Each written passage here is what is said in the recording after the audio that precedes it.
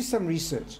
So there was a group of 300 psychiatrists who were meeting a month later, and I said, let's take all the diagnoses that we have in psychiatry, and only about 30 of them, they're not so many, and let's ask the psychiatrists to self-diagnose themselves according to the scales of mental illness. And believe it or not, no one's ever done such a thing. So we took the, the 30 diagnoses, and we asked the psychiatrists to self evaluate themselves on a scale of 0 to 5 if they had some form of psychiatric illness. What percentage of psychiatrists do you think said they had some form of psychiatric illness? 5%? 10%? 80, 80 would agree, would admit that they themselves had some form of psychiatric illness. Okay, so let me tell you 89% said that some form of psychiatric illness. I'm one of the 11% that's completely okay, but 80, 89%, but not five, two, three, and you know what? It's not what psychiatrists are little. No, it's not true. I don't think that's any different from the regular population, because all of us have some form of something at some point in our lives. A little bit of depression, a little bit of anxiety, a little obsessive stuff, uh, anxiety, personality, eating disorders. It's part of the human condition. And what makes it to be a psychiatric illness? Whether it affects our function. It's part of the human condition. The studies show that about 47% of the population at some point of their lives, that's about, that's us, right? Half of us at some point of our lives are going to some form of psychiatric condition that affects our function, that becomes a focus of attention, of clinical attention. Which means it's part of the human condition. Just like there's nothing to be ashamed of, there's nothing to say, okay, someone has high blood pressure or someone gets the flu, Sometimes people get psychiatric illness, and it's okay because it can be treated and can be managed. What's the problem? That things don't get managed and that do- things don't get treated because of the stigma and because of people, the busha, because of the, the shame associated with it. And therefore, people suffer twice. They say, not only am I suffering now from the condition, but I'm suffering because I'm not going out to get the help and I'm not reaching out, and that help is out there. And people are not getting that help. So, so I've been in the field psychiatry for about 30 years. And let me, let me tell you two things. If you go to any country in the world and you say to the Minister of Health, you say, What's the commonest diagnosis of people in, in your country right now in the hospital? So, what would you say? You go to, you go to any, any country in the world, what's the commonest diagnosis of someone in hospital today in England? What would you say in this area? Heart attack, pneumonia, broken bones, cancer, God forbid. It's actually it's actually schizophrenia, but people don't talk about. It. Let me tell you about the area where I live. Okay, in the in the in the, in the middle middle of Israel. How many people in the hospital right now in Israel with heart attack? 120. How many with pneumonia? 150. We're going to some. It goes a little bit less. How many with cancer? Cl- close to 200. How many with broken bones? Also between 100 150. How many with schizophrenia? 600. But people don't talk about. Shh. We don't talk about mental illness. Why? It's a secret. In 30 years in psychiatry, you know that if you go into in the hospitals in Israel, in the center of Israel, the big hospitals, Ichilov, Tel Shomer, Beilinson, Hadassah in Jerusalem, you know you go into a hospital, you can buy Coke from the machine, right? Do you know that when you go into the hospitals today, these beautiful big modern hospitals that look like hotels, it's probably like similar to here. I know it's definitely like that in America where I studied. You can you can buy you know you go, you can buy flowers. You can go to the hospital, the lobby, and you go put some money and it comes out flowers, and you give it to someone because that's what you do, right? You need to be bikur cholim. I've never in my 30 years of psychiatry ever seen anyone bring flowers to someone in a psychiatry ward. Why? Because psychiatry, you don't you don't go there. I, you know, if I ever asked you now to put up your hands, how many of you ever done bikur cholim in a regular hospital? I'm sure many of you have, have been, right? You've visited someone with, right? You know, all bat mitzvahs and bar mitzvah boys that do a project, that they visit the elderly, they visit sick people, not psychiatry. So when my daughter had a bat mitzvah two years ago, for a year before that, I adopt, I, uh, she adopted someone with schizophrenia in a hostel. And once a week, she used to go visit this elderly lady in a, in a hostel because no one else would go visit because it's psychiatry, because of the stigma. And it doesn't have to be like that. It doesn't have to be like that because people don't need to suffer. Do you know that in Israel, in Israel, how many people die from car accidents every year? Do anyone know? How many people die in car accidents every year in Israel? 365. It's about one a day. The figures last year, I think, were 384. A little bit worse. The year before, they're about 360. It's about one a day. Do you know how many people die from suicide every year? From what we know it's about double, two to three times. But do you know how much money is given for prevention of car accidents in Israel? There's a whole department in the government, millions and millions. But do you know how much money is given for suicide prevention in Israel? Nothing. Okay. And you go to the big psychiatry, big hospitals, big general hospitals. They're beautiful, like hotels. And you know, every door of it has a plaque, you know, donated by some wealthy individual from in America. But a psychiatry hospital, it's neglected. There's six to ten people per room, one shower for a room full of, for a ward full of 30 to 40 individuals. At night, there are two staff members, so patients get a little irritable or agitated because they want their cigarette or they want some chocolate, and they go and they get they get restrained. There was this terrible um, scandal going on in Israel last year or two because they neglected the psychiatry because we don't talk about it. And that's what Mane came to say. Just because someone has psychiatric illness doesn't mean that they should be have substandard conditions in the hospital. So they opened up and they said, okay, we're going to have two per room, we're going have good conditions. There's no reason that psychiatric individuals shouldn't shouldn't have good conditions. And I'll just give one other example, and this is something that that's a very sensitive issue, but it happens to be a hobby of mine, and I think it's something that, that people should know about. When you talk about even the Holocaust, and every, every, every city in the world that respects itself has a museum for the Holocaust. But do, do you know the whole idea for gas chambers? Where did that come from? Where did the whole idea of gas chambers come from? Where did it come from? It came from the mentally ill. Long before, when I say long before, years before they started with the Jews, okay, and the terrible, the terrible, the extent of what happened, the, the doctors in, in, in, in Germany, and I mentioned this to someone before, were gassing the mentally ill.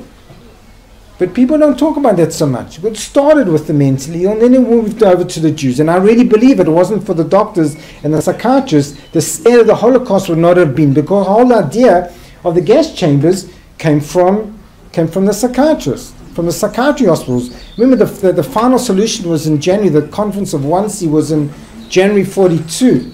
But that started in 39 to 41 with gas chambers, and the whole idea moved over. I'll tell you one little interesting fact, and then I'll move on to talk to psychiatry. When you talk about, there was only one concentration camp that was, it was run by a doctor. People don't know this. When you talk about medicine and the Holocaust, you talk about how do, what do people think? What do people say? Right? Who do people know the name of one name in the Holocaust of a doctor? Mengele, right? Mengele was a terrible man. He was evil and he did terrible things in experiments and selection. But there was someone who compared to, who Mengele was small fry compared to this guy. And let me tell you about this. And you, you haven't heard of him. Because I, and, and it's a, it's a, it's a, it's a, it's an absolute stain and shame on the medical profession and in psychiatry in particular. There was only one concentration camp that was run by a doctor. Did you know that? Do you know which one it was and what his name was? Asperger. Sorry? Asperger. No. Now, Asperger, Asperger is, was a neurologist working in Austria, but he never headed a gas chamber. He never headed a concentration camp. Um, that's another interesting story on itself we can talk about. We won't talk about that. But Treblinka was actually set up by a doctor, and and his name was Irmfried Eberl. And what kind of doctor was he? He was a psychiatrist. And he was considered to be the most successful of all concentration camp commanders. Why?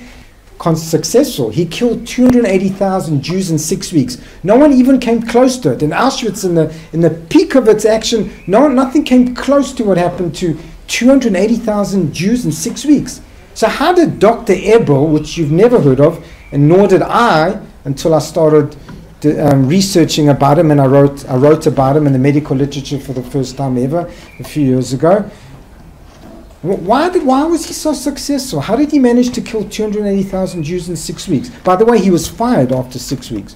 Because he was so successful at killing Jews, he, the, the, the mounds of bodies were piling up and the stench, so they fired him. Because why? You kill, you can't get rid of it. That's not that's not considered uh, functional. So they fired him. But how did he manage to kill so many in such a short time? Because as he said, he used to walk around in a white coat.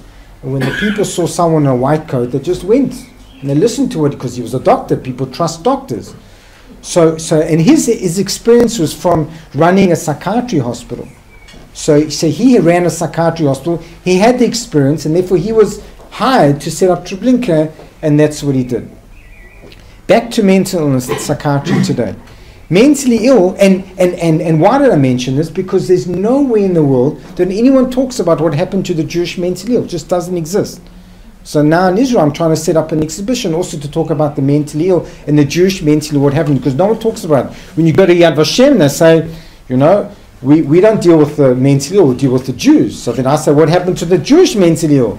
So they say nothing different happened to the Jewish mentally ill, but actually they did. They suffered double. They were the doubly cursed.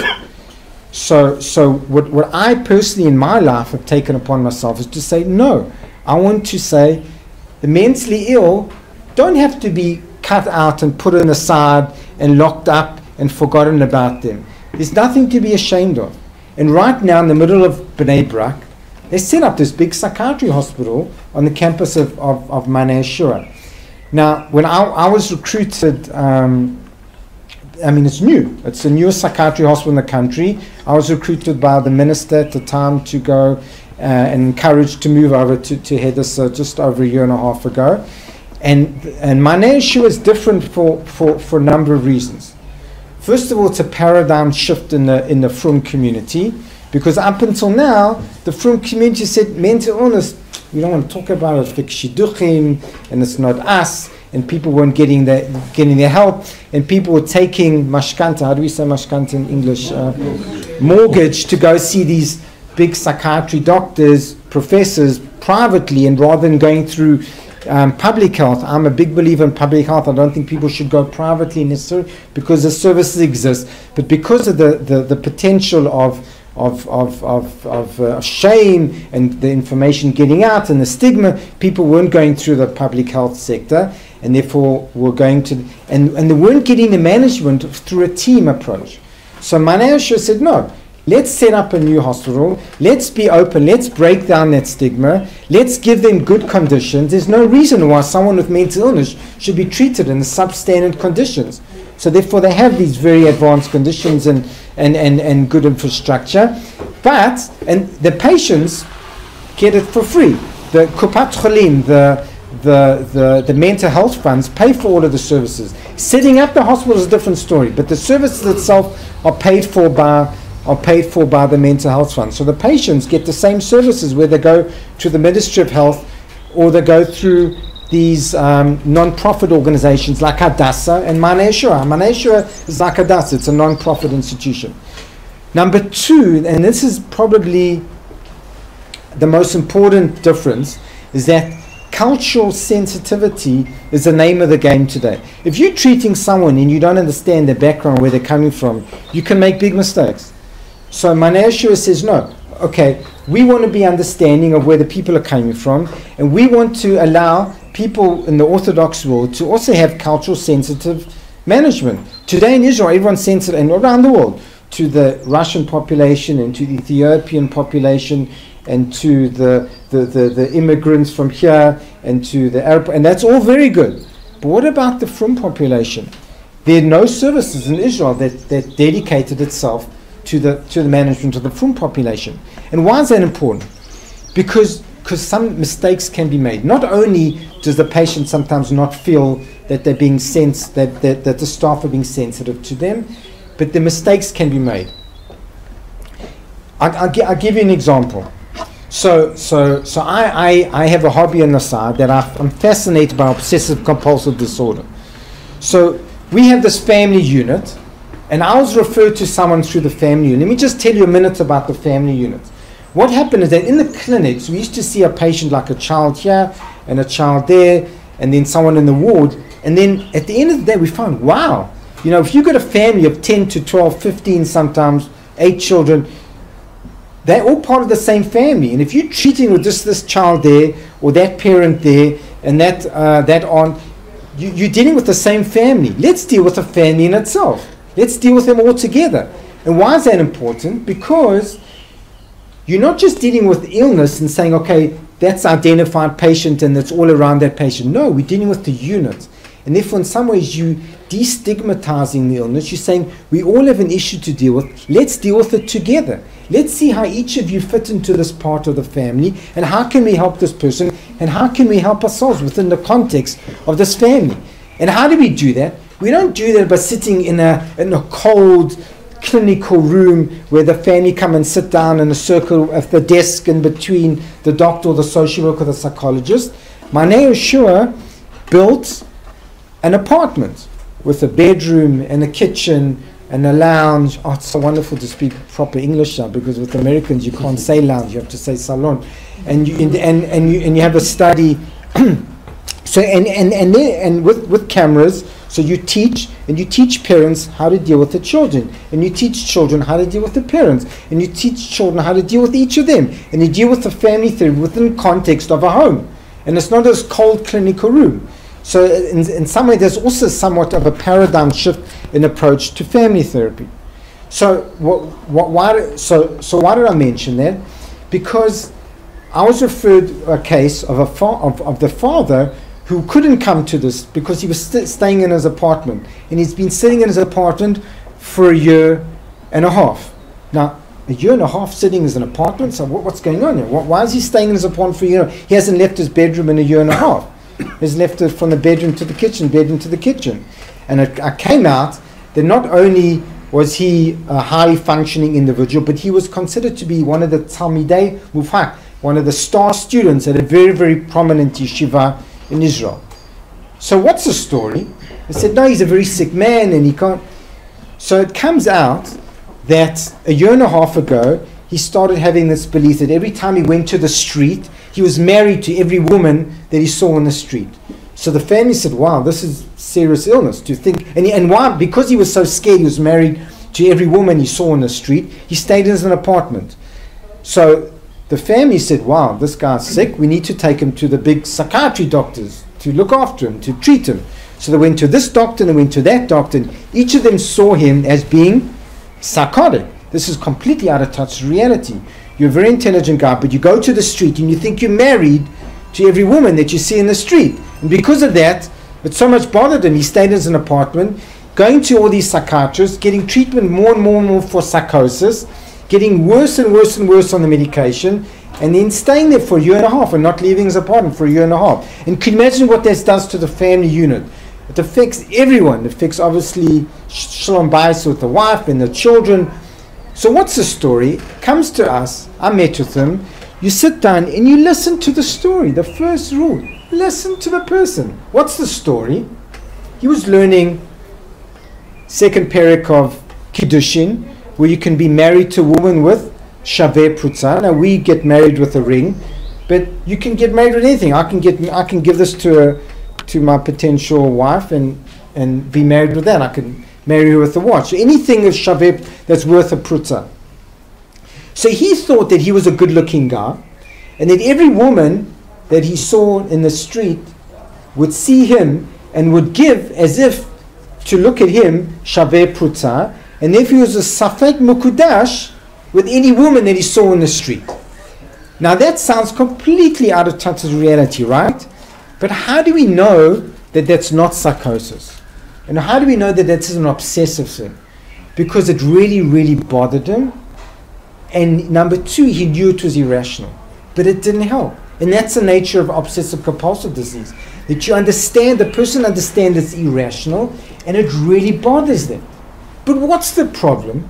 If you don't understand where the person is coming from, from their culture, and here in terms of halacha, you completely mismanage the condition. Because you're treating him as if he's a psychotic individual, and he's not psychotic individual. He's not out of touch with reality. He recognizes it's irrational, and it really bothers him. That is not psychosis. That is OCD, and the management is completely different. So the part, what you do, you stop this antipsychotic medication, starts coming out. You give him anti-obsessive medication. Within four to six weeks, he's back to complete function. So, so that's what. So it's not that. It's not that that that the doctor who, in, in that situation, what we're doing in our clinic, to say we just that we're sensitive to the culture where the people come from. So in Mayanei HaYeshua, we're saying, no, we want to offer services to the Frum population in Israel, which doesn't exist as a specialty unit. We open to everyone.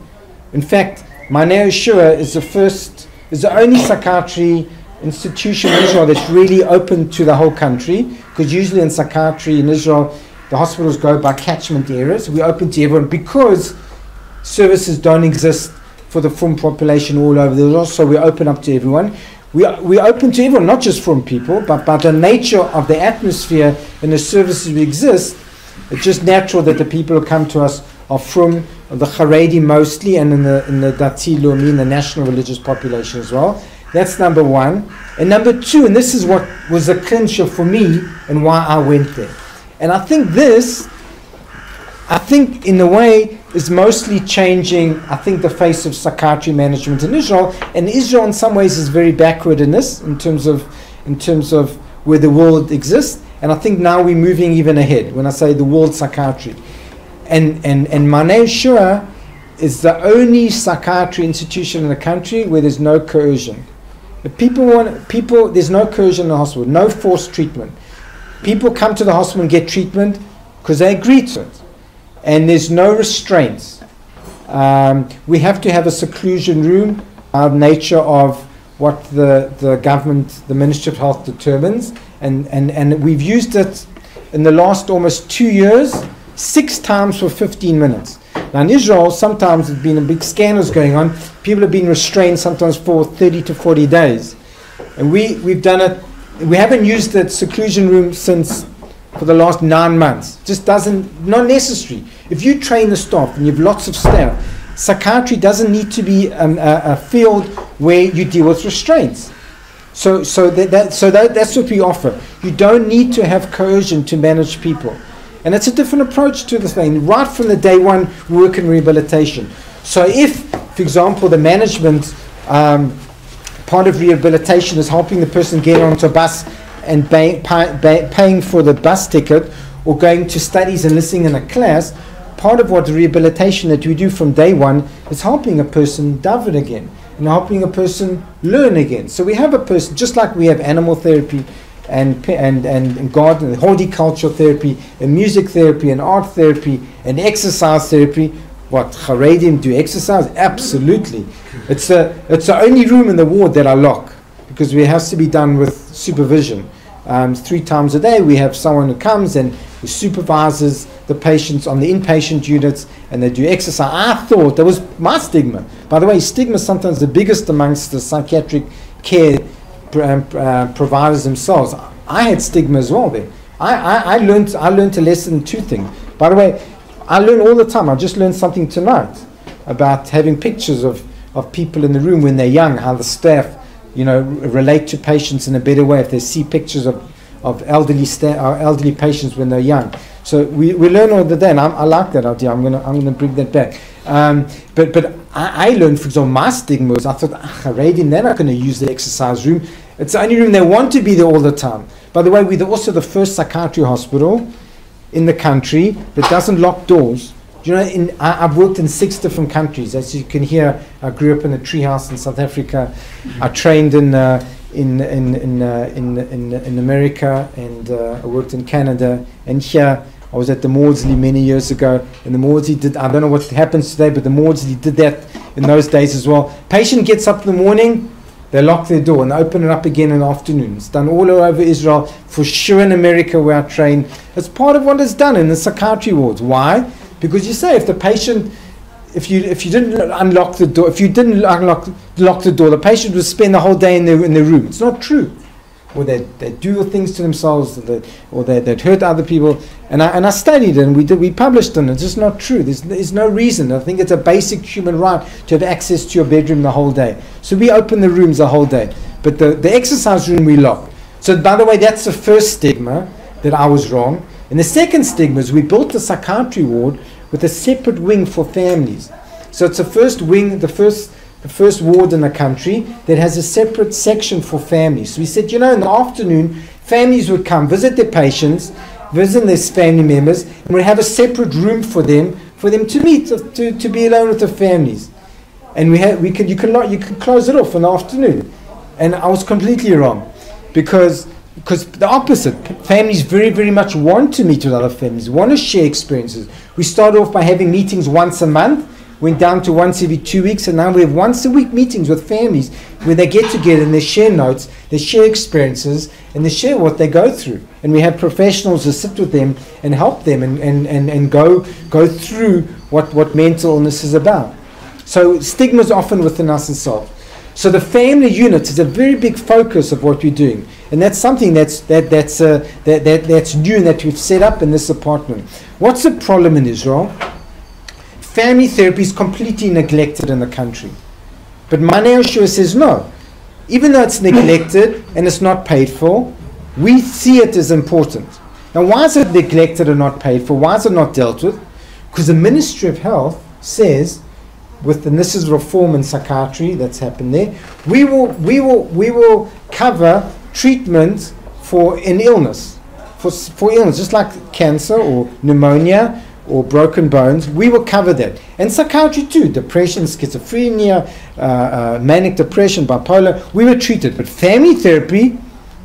It's not a diagnosis. We don't cover it, and they don't, and they don't. So social workers and psychologists can only see people privately. So the average person cannot see someone through the through the, the national health system. But Mayanei HaYeshua says something different. We are a community hospital.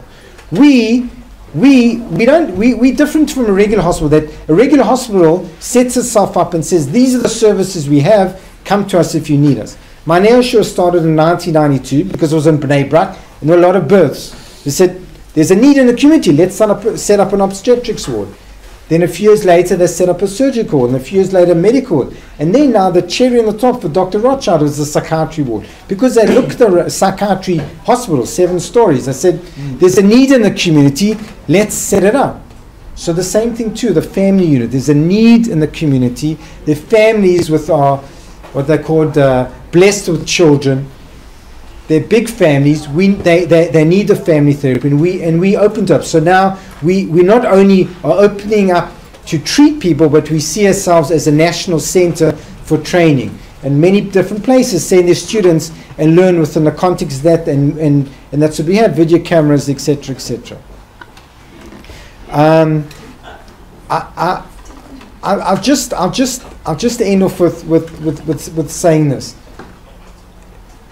when, when people when people suffer from mental illness, not only do they suffer from what they're going through with themselves, but they suffer from, from, from the loneliness and from, from, from, from, not, from not having other people sharing with what they're going through. Because part of what, what it means to be sick is to say, I'm not alone and someone's with me and they can give me that word. But patients in the psychiatry ward and, psychi- and suffer from that, and not just in the ward, out there in the community as well.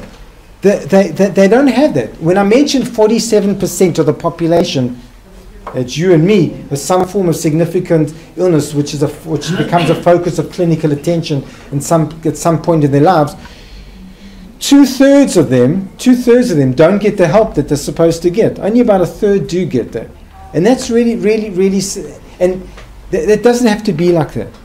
So, so we're saying we're saying we want to go out to the community. We want to try and make that difference. We want to try and give that give that in a, with an ethical basis, and we want to we want to we want to change the face of psychiatry, not just in the Frum community, but but in but in clinical medicine in general in Israel.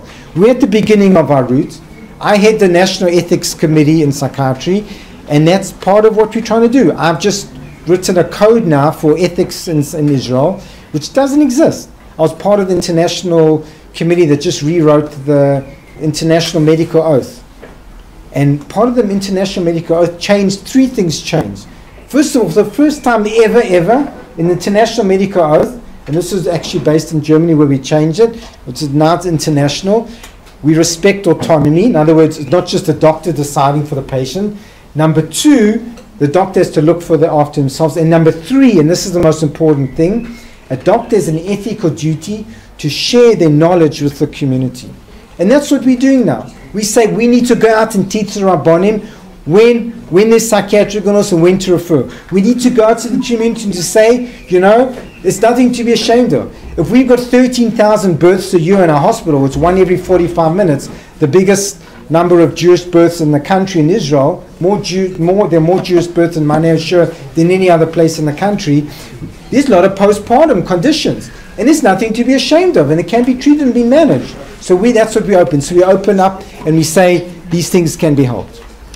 Thank you very much for coming to hear me tonight and to hear some of what we're doing. And uh, I hope if any of you come to visit, it be it will be good to see you. And it's okay to bring flowers.